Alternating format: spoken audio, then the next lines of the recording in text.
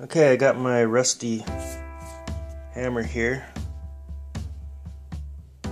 Rusty Plumb hammer. And I'm going to put it in the vinegar bath for about two days. See how much this rust I can get off this hammer.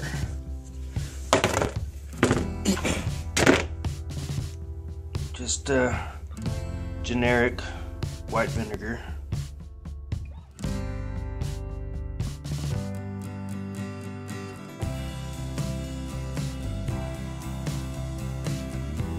It in here until it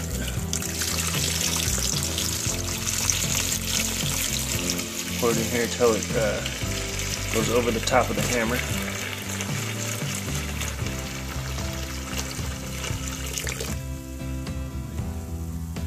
I'm probably gonna throw some other stuff in there, but uh, we'll just be mainly checking on the hammer's progress. So see you in two days. Okay, it's been two days.